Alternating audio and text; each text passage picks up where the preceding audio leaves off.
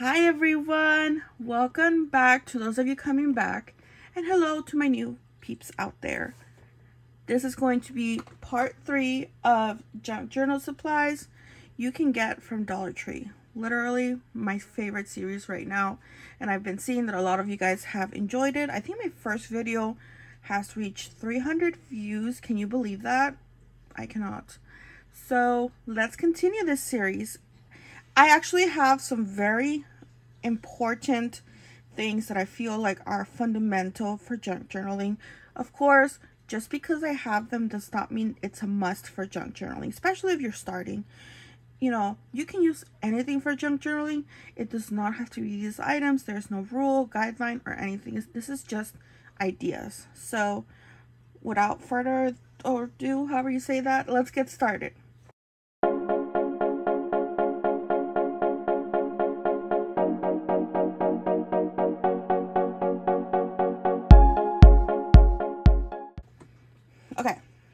Number one, this is going to be a basic one, but I feel like a, a very important one if you're starting because it helps with a few things and I will explain. Not buttons. I, I just kept this old container of buttons, but it's going to be paper clips. Paper clips are come in handy so well. Not only can you make like embellishments at the corner of, of your paper clips and attach them at the top. You can add pom-poms. You can add literally anything, charms. I will add some images right now so you can see some ideas. I feel like if I add some example images that I have found online, I think it'll give a better grasp. So here are some images.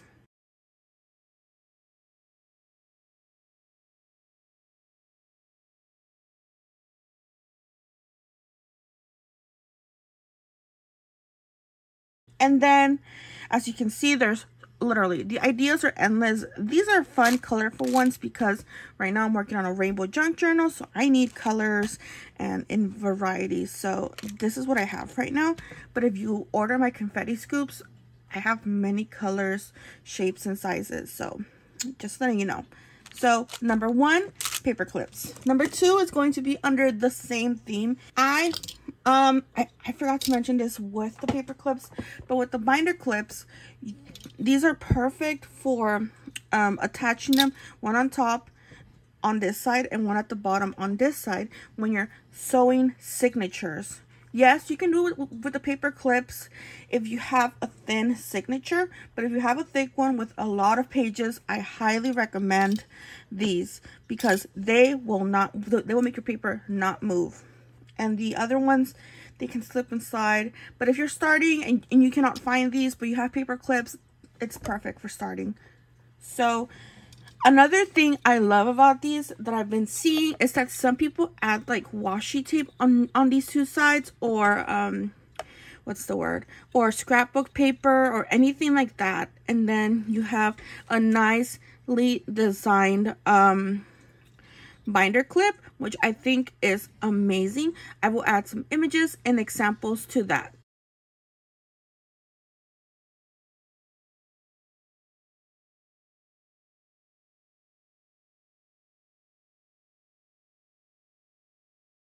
And then moving along, literally, same thing as I've mentioned with the first two items. It's going to be wooden, um, I, am calling them wooden clips, but they're uh, popularly more known as wooden clothespins. This pack has 36 and the, these are the, I think, medium. They do have the mini ones in the crafter square. This is going to be where your laundry stuff is, where at, at Dollar Tree, where your laundry stuff is, where like the home things are. This is where we're going to find these. And the amazing thing about these is going to be this oh, I'm not centered. This part right here. You can add scrapbook paper to these pieces. Um, you can detach them. You could take um, the metal out and um, reshape them into an image, a flower, a star. and attach them either in your cover or as a charm if you're using um, the mini ones. The ideas for these are endless. And again, these could be used for signatures as well. Will they be as strong as the binder clips?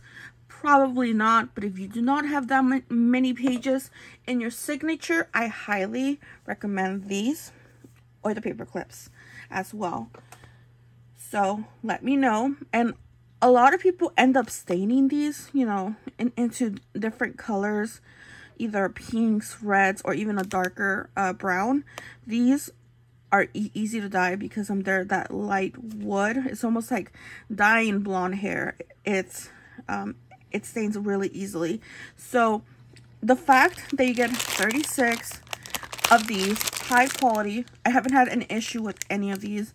This is like my third pack mainly for Christmas. I love these.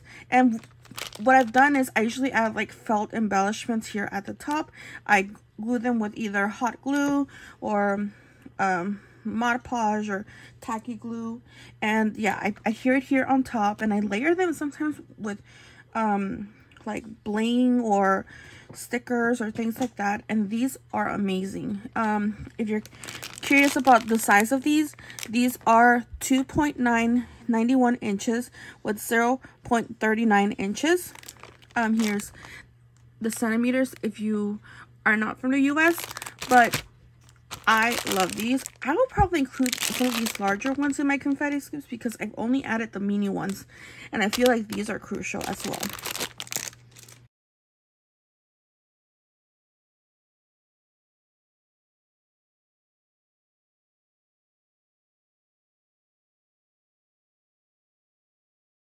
Okay, and the next item is going to be itty bitty, but again, love them. And that is going to be the tags. Look at these tags, okay? They're white, and I'm going to pull one so you, you can actually see it. Um, it is one. It comes with a really long string. I usually take these off because I tie my own um, smaller string or something, like twine, like maybe this long but just itself these are perfect for like you know dyeing the edges making this look vintage. You can stamp them but my favorite thing to do with these especially when i was pen paling i know this is junk journaling related but if you're watching this for other crafts um and you're or even if you're in a junk journaling community but you want to give your friend a sample of something these are perfect. You you, you can tie around um, felt samples, fabric samples, but my favorite thing to do is washi samples. These are perfect for washi samples because the texture is glossy. So wrapping this, um, once you peel the washi tape, it's not going to tear this so you can reuse this and not only that it, i feel like it's sturdy enough once the washi tape is wrapped that it won't like break or not break but like tear. So these are amazing for that kind of stuff especially um gifting.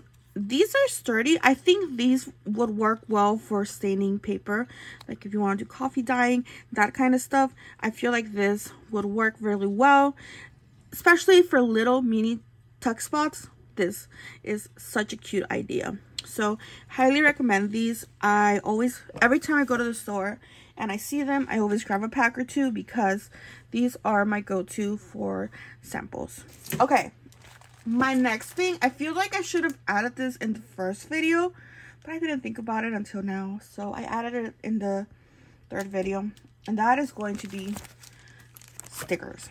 Stickers, stickers, stickers, stickers, and stickers. Stickers are I feel like a perfect thing for either beginners or more advanced people because you can make um, you can follow that theme a lot better. Right now I'm working on, on a rainbow uh, junk journal, so rainbow stickers or any really any color stickers would work, but mainly rainbow stickers would work perfectly for my junk journal, so this is why I picked up this rainbow one.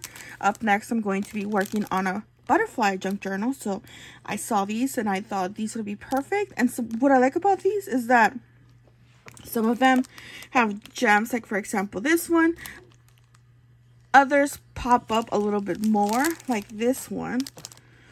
You can see it kind of has like a three um, dimension, which I love. And then the detail with the glitter. I'm not sure you can really see it, but um, it comes with 11 pieces. This one comes with 10, 3. This one, let's see, one, two, three, four, five. So 20 stickers. And then this one. This is perfect for those people who journal like every page is different. Like you dedicate a theme to each page. These are perfect because I notice a lot of people like to do windows, especially if you don't have a Cricut die cutting machine.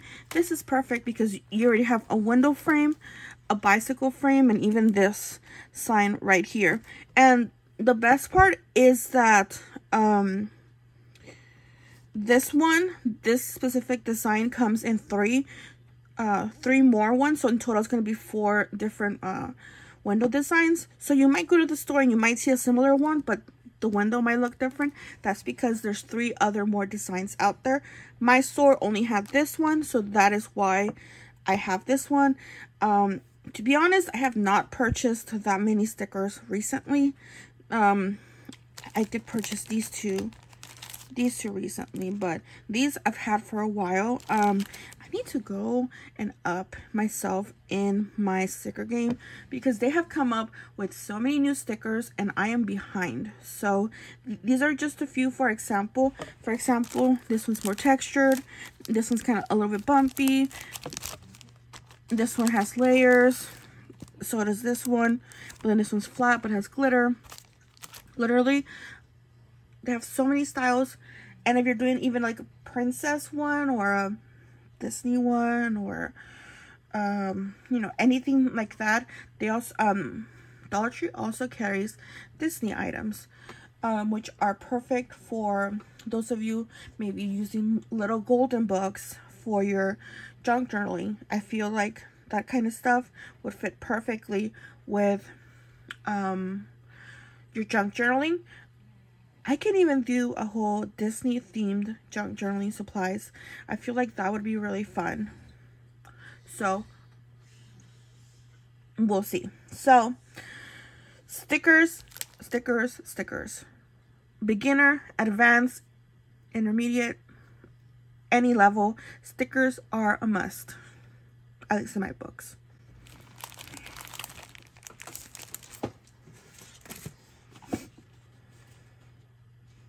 Okay, and another thing I rave about at Dollar Tree. Literally, every time you ask me, what's your favorite thing at Dollar Tree? This is one item I will always mention, and that is the double-sided tape at Dollar Tree. Um, someone asked me if the adhesives are acid-free. As for the foam ones, I am not sure since I threw away the packaging, but this one is. It's acid-free. So if, if that's your preference, then um, just letting you know, this is acid free. Um, it doesn't say anything else in the back. So, and this lasts me, you know, if, if you're not really, if you need something to, to stick, but not be super secure, just a couple strips. Couple strips and you're good. Now, if you need something to stick, do corners do all the edges and do like two in the middle. And that sh should keep it nice and sturdy. So i highly recommend this crafter square double-sided tape. You will find it in the crafter square section. This is all year round okay? And if not be like i want to speak to a manager why do you not have these okay like excuse me okay trust me these highly recommend okay and, and this next item is going to be lace. Unfortunately, your girl has run out of lace of the other kind. This is the Valentine's Day lace. They release it every year for Valentine's Day. As you can see, it has the heart-shaped lace. And I love these these are as you can see it usually comes out with two designs. There's this one that's a little bit longer and then there's this one that's a little bit shorter. This year i only found this one which is the middle one. Um i didn't find this one but i'm always on the hunt especially right now that valentine's day is about to pass. I need to make sure to stock up on valentine's day items even though the holiday has passed. Because like I've said, I'll say this once and I'll say this again. Valentine's Day items, most of them, not all of them, but most of them can be used throughout the whole year. Hearts never go out of season. So these, stock up on these. Okay, and following that theme, um, the next items is going to be ribbon. So, due to space, I decided to take um, the ribbon out of the spools and make my own flat like ribbon organizers. So, I've so far I have them under categories. This is Christmas. I don't really have that many Christmas left because I used almost all of it. And then right now that Easter's about to come, because right now this video that I'm filming is during Easter time. Here's like some of the plaid, the gingham, and then here is your Easter. Um, I think this one's from last year. I need to get some for this year. So Easter bunnies and of course your like spring floral summer ones. I love these. And then unfortunately i only have one of these design but especially during holidays they come out with new ribbons regular ones and the thin ones and then what i like to call the wire ones. So i've cut it so here you, you can see a little bit of the let me see if i can zoom it in a, little bit of the of the wire there you go Here's the wire. It's a very thin wire, but especially if you're making bows, this is perfect for shaping. Especially those people who, who like to make wreaths, this is perfect for that. But even so, you can use these um, to make borders or anything like that. Just because um, they have wire um, doesn't mean that you can't use them. I personally do not prefer these. I prefer the unwired ones, but every now and then if I really like the pattern, I will get wired ones. So this one, I just have it with a rubber band. Most of these are taped. Um, I'm still learning to see what's the best way to keep them um, tied. So I cannot give you any advice on that, but that is the little bit of ribbon that I have with me right now. I have more in storage to be honest, so maybe I can do like a whole show you all my ribbons another day. Okay, and the last two items, the first one is going to be these, I like to call them chipboard um, die cuts, and these come usually in a six pack, for example. They'll have three designs and then they'll have two of each. So these, for example, are the stars. There's three and three, but you know, the designs go in hand. For example, the florals. For example, two roses and then these floral ones and then these these are perfect for decorating i'm going to show you my junk journal that i just finished the cover i have not finished the inside but i finished the cover and i added butterflies so in my junk journal, as you can see, I have these two um, butterflies that I added because the cover has some butterflies. And I got this at um, Hobby Lobby. And I got these at Walmart. But we're talking Dollar Tree. So these were from Dollar Tree. And I am very happy with them. Um, they are very sturdy. Um, they're chipboard. So they're a little bit sturdier but they're still flimsy so these can break. Um they are paper based i did see a girl on tiktok i cannot remember her username but i did see this girl on tiktok that she soaked it a little bit in water and they peeled off into six layers. So if you want like a, if you want to thin this out you can soak it a little bit in water wait a little bit for them to expand because of the water and then you, you, can carefully peel a couple of them. I have not tried this myself so i do not know um, if this works for all of them but she tried it on a few and they worked. Okay and the last item i personally like to call them boarded printer paper but they're called computer paper. But uh, but the reason why I call them boarded is because the borders have designs. So for example, there's this pink one, and I've collected these throughout the year, so some designs might be um, retired because I mainly use these for pen paling, but they still work for junk journaling. So the stars, like the uh, leaves, the floral. Um, this one kind of gives me like a, a bandana. Um, and then there's this striped one. I like I said, I've been collecting these for years. Rainbow hearts and lollipops. These are so cute. If you keep an eye every couple of months, you will find new designs. But please note, some of them have 24, some of them have 32. So keep in mind that not all of them are going to have the same amount. If I'm checking right now to see, yeah, so either 24 or 32. So make sure you know how many you're going to need for your project. So if you're going to need like 40 to 60, I would say get the 32. If you just need like 20 sheets or even 10, get the 24. Also, it depends on what your project is, but literally, I fold these in half, do my signature in the middle, and that's it. And these are perfect. Yes, this is printer page material, so please note that these are easy tear. So if you're going to soak these, they might tear really easily. So if I would say just keep them the way they came. But of course, if you have been dyeing paper for a while and you already know the rodeo, then go for it. But if you're starting, I would say just keep it the way it is and just practice as you go. Or if you have those distress inks, yeah, play along with them and, and see how um, they work. Also, if you have like a color theme, you can always cut these and use them as strips and borders in your journal you don't have to use the whole page. Like for example this here or even the hearts here. And it could work as like mini sorry my cats mini thin slices of um like scrapbook paper i guess. So yeah. I absolutely love these and i'm like i need to include this.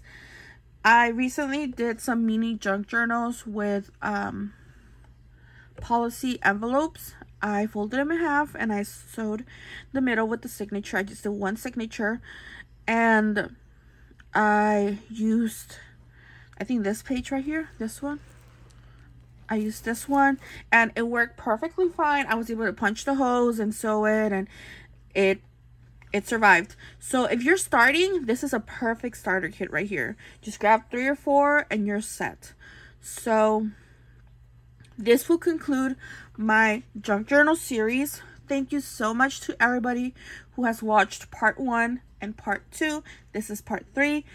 Um, I will be posting a part four very soon. I still need to film it. I still need a couple things to grab for filming that one, but it is coming soon. Thank, thank you for all the support, all the comments, the feedback. It truly means a lot to me. So, stay tuned for more. If you really like this series, don't forget to like, subscribe, and stay tuned for, I'm sorry, my cat is literally curious. Um, and keep an eye for the future videos um, that are coming. My cat has taken over my desk area, and that is my cue to go, my friends. This is Uriel. He is a sweetie pie. He apparently, this is his new habit now. He jumps on the desk here and watches me. Let me see if I can like do his eyes. Video. Hi. So, if you enjoyed our little mascot here, give us a thumbs up. Again, don't forget to like, subscribe if you like this. And until next time, bye.